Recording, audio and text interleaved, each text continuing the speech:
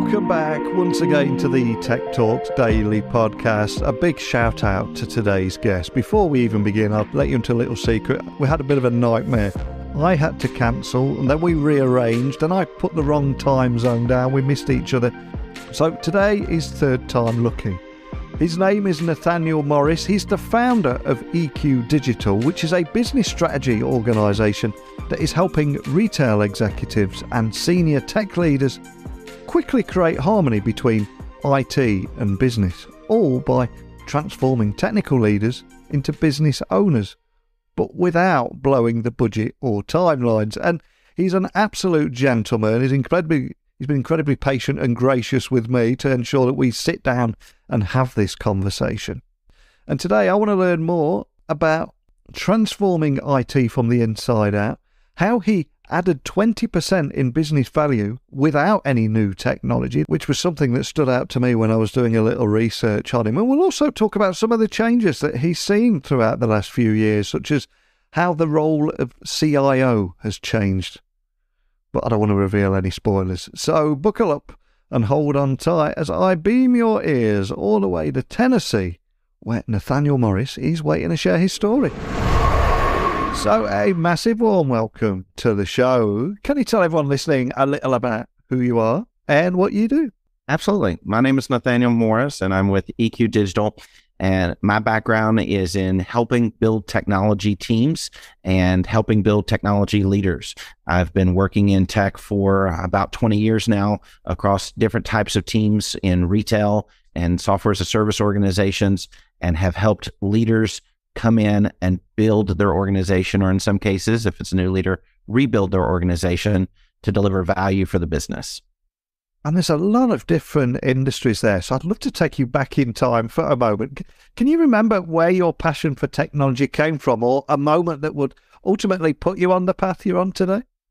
Absolutely. Uh, I began working with computers um, back in actually probably about middle school, way back when we're talking uh, mid the monochromatic monitors and uh, dealing with Visual Basic. And I think the first set of code that I ever wrote uh, was to average five numbers, right? Way back. But I began working with those, and I had an uncle who liked to work with computers, actually taught it in the public school sector.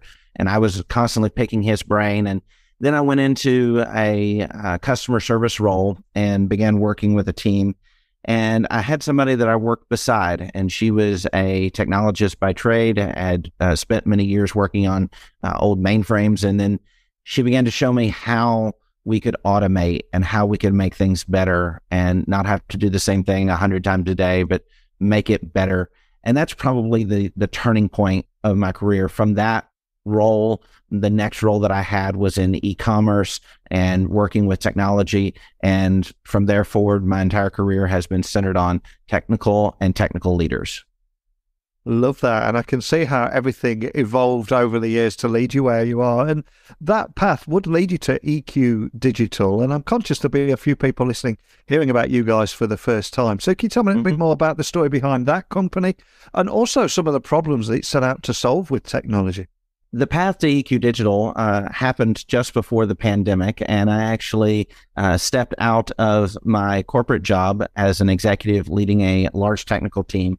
And that was about a week, two weeks before the world shut down. So uh, a little bit of a interesting timing. But when we began to look at the need in the industry, what I continued to find was that technical leaders didn't have the business background or the business didn't understand the technical landscape.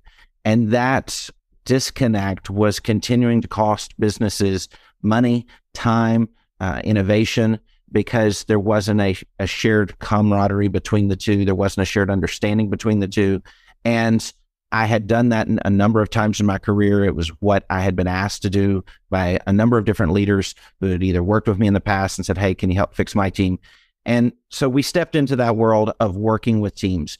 And really, it boils down to at EQ Digital, we work with four areas people, process, partners, and the product. And our goal is to create the alignment between business and IT in those four categories, making sure that the teams are executing at a high level.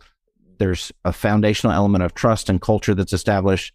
making sure the processes are balanced, uh, ditch on both sides. As a mentor of mine used to say, you have to have process, but too much process and you're going to slow the system down. So you have to create the right tension between the two and balance it. Uh, and then partnerships, how to appropriately partner as a technical uh, organization with the big boys in the field, if you will, the Cisco's and the Microsofts and all of the vendors out there, and then making sure that the product is delivering for the business. So that's really what we're about is optimizing an organization and helping the business succeed. And you mentioned how much the world has changed there and how you were faced with that lockdown period as well as much as everyone has that's going to be listening to this podcast. And also some of the things that you noticed that were lacking in leadership. And i'm curious how have you seen the role of let's say the cio change over the years absolutely the the role of cio has changed so much in the last even probably 10 years and of course with the pandemic uh, a lot of additional pressure has hit the role used to be of very much centered on how do you keep the lights on? Technology has to be delivered for the business. How do we make sure it's there, it's working, it's installed, and just uptime? How do we make sure that the system doesn't go down? But the C suite and the business uh, owners, the business users are really asking more out of technology these days. And it's shifted much more as a strategic partnership in the C suite rather than just an operator. And I think if you look at some of the research that's coming out of the various organizations that are studying technology and studying the CIOs, they're saying the same thing consistently. The CIO job is about helping the business grow revenue, optimize cost, truly innovating. A number of businesses, if if you see the survey data, 20% of businesses believe that half of their revenue will not exist in five years. And that's because of the technical disruption. That's because of the various disruptions that are happening in different marketplaces, whether it be in the medical field, retail, obviously, with the digital retail. So they're worried about how their organization is going to succeed in five years. And they're looking for that technical leader to help them navigate that transition and that they will need new benefits and new ways of operating with revenue. And then, of course, the other side is the risk. The risk previously, when we would go back five years or 10 years, you could defend a perimeter and keep your things secure. Now you're dealing with insider threats. You'll hear things like zero trust on the security side. And while a, a CISO is probably going to be owning the bulk of that, it is a partnership with the CISO, the CIO, and any CTO or digital officer, everyone is responsible for security and really thinking inside out from a security perspective and reducing the business risk, not just the technical risk, but truly the business risk is a big shift. So the CIO job has really transitioned over the last five years to a strategist and a business expert, not just a technical operator. And despite there being four, four to 5,000 miles between us today as we have this conversation, one thing that we're probably both seeing right now is economic uncertainty and many businesses challenged with doing more with less. And at the same time, we've got customer expectations that are continuously rising. They're demanding more technologies, better digital experiences, etc. And while all this is happening, technology expenses are skyrocketing. So I've got to ask, it seems such a, a tricky balance to achieve, but how should businesses better manage these increasing costs? Yeah, the costs are going up absolutely on a very rapid pace. And one of the things that we've worked with clients on is when you get into a strategic alignment with your vendors, it's really, really important that you find your right partnerships. Um, some organizations will do competitive bidding across three or four partners on every single transaction. And so they might have a switch they're buying one day from one partner, and six months later, they're buying from a di- different partner or software from company A and then company B, and it's moving around a lot. It's really difficult to stay close if you're jumping around all over the place. So the goal is to say, find the partners that are going the same direction you are, that are aligned with your principles, and dig deep. Those partnerships, if you will dig deep, are saving companies between 15 and 20% versus jumping it around all over the place. So, really getting alignment and understanding who you're going to work with is a competitive advantage. The other thing that is there, and uh, a lot of CIOs are finding this, there's a lot of overlap because acquisition procurement is being done across the organization. You've heard things of shadow IT. You've heard things of uh, procurement where it's everybody can buy tech now with the swipe of a credit card. Really, it's coming down to getting an internal alignment around a planning first mindset so that you're avoiding the overlap, avoiding the unnecessary expense. Uh, I've seen organizations that are paying 30 and 40% premiums because four different parts of the organization are buying licenses and they're not consolidating and working collaboratively to make sure they're combining it to an enterprise contract and everybody's paying off the shelf rates. And that's where an internal planning first mindset is so important. And then the third thing I would say is technical pre- procurement mindset. Um, oftentimes, technology procurement is involved with the corporate procurement. That is perfectly appropriate. But if there's not technical skill and understanding of the bits and bytes of how it's done inside procurement, you're going to cost yourself. So whether it be your leadership team working with procurement more directly, uh, but it's not something you can just say, I handed it to procurement, they gave me the best price if it's a technical product, you definitely want technical expertise. Too many components in the licensing regulations and the hardware components that you're dealing with. So when you're dealing with technical expenses, really aligning externally, aligning internally, and then getting that procurement understanding will save companies a lot of money. And although this is a tech podcast, I did read before you came on the podcast that you you added 20% in business value without new technology. Can I ask you, you share that story too? Sure, absolutely. Uh, one of the common misconceptions is we have to have new tech to get better. And while new tech will often make an improvement, there is a, out of the PMO Institute, uh, the PMP Institute, you find that they are telling us that technical teams are failing on projects at an alarming rate half of all technology projects are failing at a cost of a million dollars plus each project. And a lot of times when we walk into an organization, what we find is the tech that is there is actually good enough. It may not be cutting edge, it may not be the absolute best, but it is good enough for the business need. The challenge is how do you create the alignment where the processes are using that technology to the best of its capabilities. It's integrated well with the other tech that is there. And so we walked into a company that was a software company and began working with them. And what we immediately found was duplicate values, uh, same solution, same problem was being fixed by five different solutions. And we walked into the processes that were very backwards. We wound up with companies, or excuse me, teams that were trying to solve the same problem and they didn't know each other were working on the same problem. Um, one executive had asked team A, and another executive had mentioned it to team B. And so they're absolutely working at uh, competing perspectives, didn't have the full story. And this was a technology team that was very large. And we began working through and saying, okay, let's work with the leadership team, let's create alignment. And we actually had a 20% impact on the business value. When I say business value, you're talking about reducing costs, improving sales, true business metrics.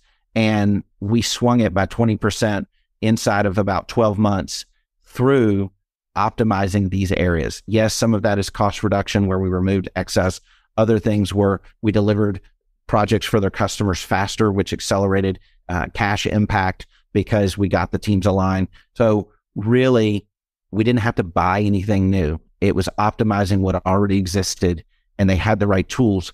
They just didn't know how to apply them properly. So, and great opportunity in a lot of organizations to really, especially in today's economic climate, to optimize what is there. Uh, and it can create a massive impact for the business.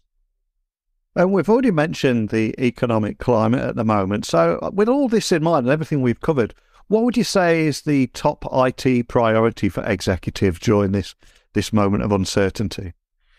So the business executives are asking for help me create value. help me enable new revenue streams, help me to leverage the data that we have from a customer perspective, whether it be in marketing or in uh, any type of business value function, help me create efficiencies in our operations, whether we're in manufacturing, whether we're in retail. How do we streamline? How do we make things better? So, as technical leaders, really understanding and leading with value to the business, speaking of business metrics, in revenue, in tying the operations of technology to specific revenue categories.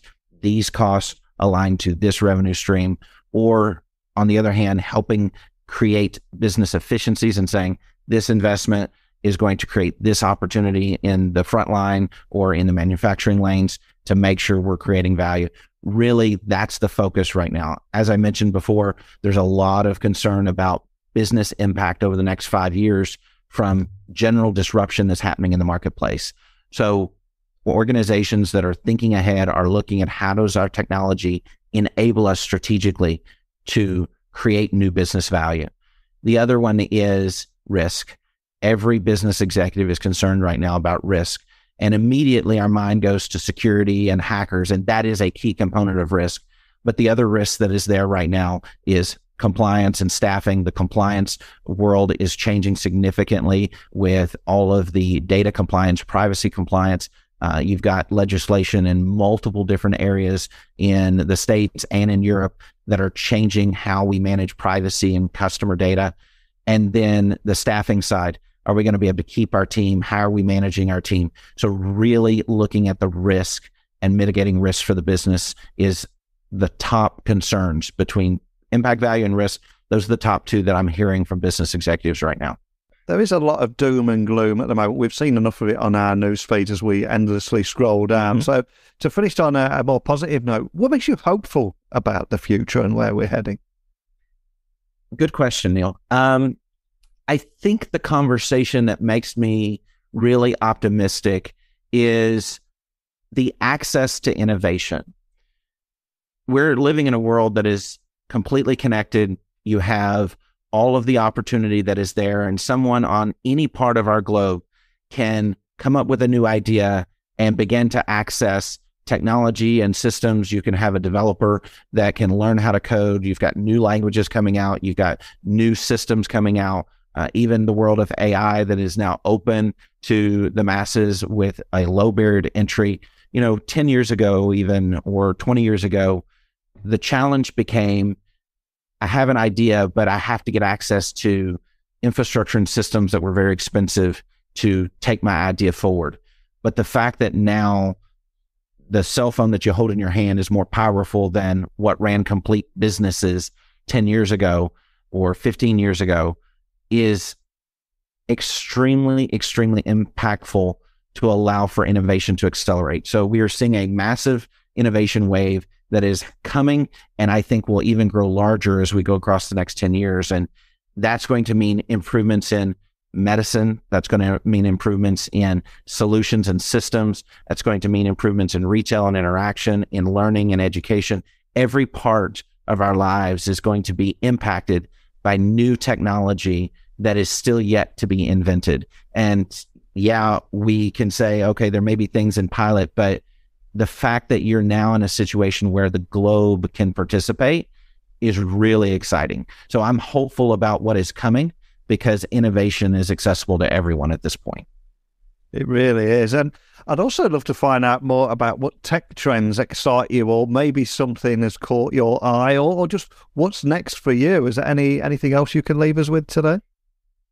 Absolutely. The the two things that are really exciting to me as I am sitting here and continuing to watch trends.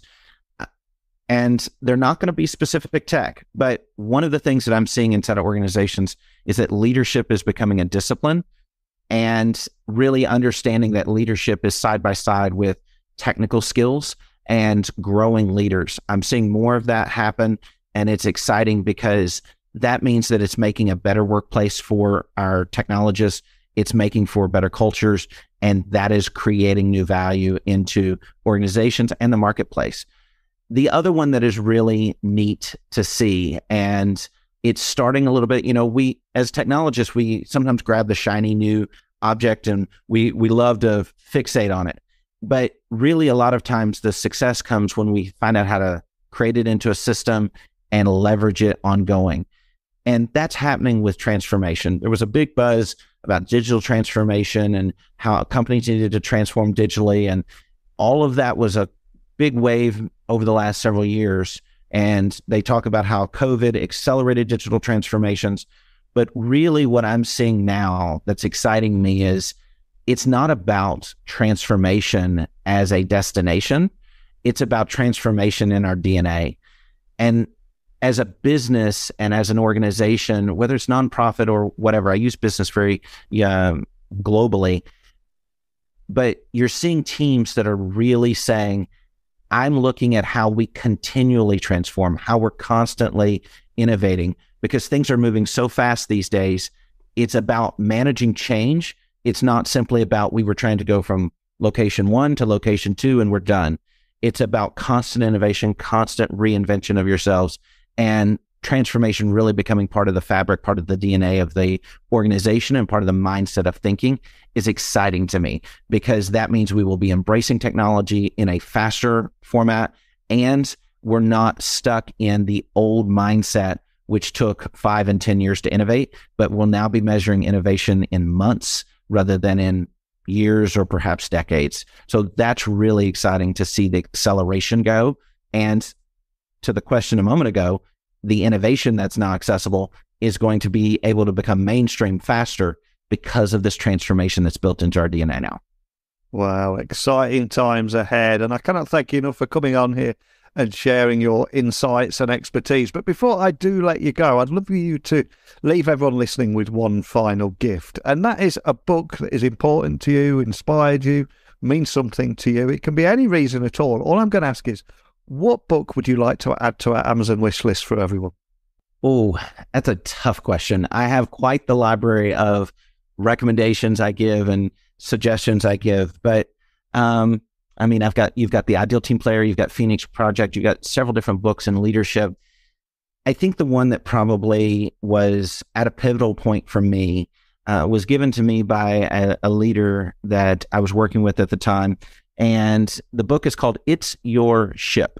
Um, and it's by Captain Abrashoff. And really, the transformation there for me, um, interestingly, uh, it's a book about a captain in the Navy, and it was given to me by a West Point graduate. So there's a little bit of contradiction there. but um, the the transformation for me was the understanding that it is not about someone else creating the impact for you. It is about you understanding and taking ownership of your own transformation, your own journey, and really being empowered and enabling teams to do that. The story with Captain Abrashoff was taking a very performing ship and the team and the crew that's on it and turning it from the bottom of the metrics all the way to the best ship in the Navy and the way that that happened was truly allowing the team to take ownership and allowing those ideas to come up and allowing everyone to be responsible for their own ship. It wasn't, oh, this is the captain ship. It's it's my ship. And that transformation journey of understanding that it's your life, it's your career, it's your team that you're working with and enabling each team member to take that mindset really was a pivotal point for me on the leadership journey. So, highly recommend it. Uh, I come back to it from time to time and reread it just for going back through and the reminder. So, it's a it's a great book. Awesome. I'll get that added straight to our Amazon wish list. And for anyone listening, just wanting to find out more information about yourself, EQ Digital, where they can contact your team, etc., where would you like to point everyone listening? Absolutely. If you'd like to contact us, uh, there's eqdigital.com, has all of our contact information there. And then I would really like for you to follow me on LinkedIn. I put out articles and information uh, on technology, business, leadership, and the combination. So follow us there and you'll get all the latest information. Fantastic. I'll add those links to the show notes so people can find you nice and easy. We covered so much today from transforming IT from the inside out to adding 20% in business value without new technology. But I think it was your personal origin story that brought all that to life too. So just thank you for sharing that with me today. Absolutely. Thank you for the opportunity. I've enjoyed the conversation. Nathaniel is an absolute gentleman, and I think it's his business aware, technical focus, blended with a candid, can do leadership style that has helped businesses save millions in annual expenses, but also building sustainable, high performing teams and contributing to hundreds of millions to the bottom line. I applaud everything that he does. I'm a big fan of his, and we broke the curse today. Third time lucky we managed to sit down and share his story. So a big thank you to Nathaniel for coming on. If anything we talked about today resonated with you, I'd love to hear your story too. So any comments, feedback, or pictures to come on the show, techblogwriter@outlook.com. You can also just send me a quick question or comment to at Neil C. Hughes on LinkedIn, Twitter, Instagram, wherever you hang out. I'm the easiest guy in the world to find. So let's keep this conversation going. Big thank you for listening as always, and until next time, don't be a stranger.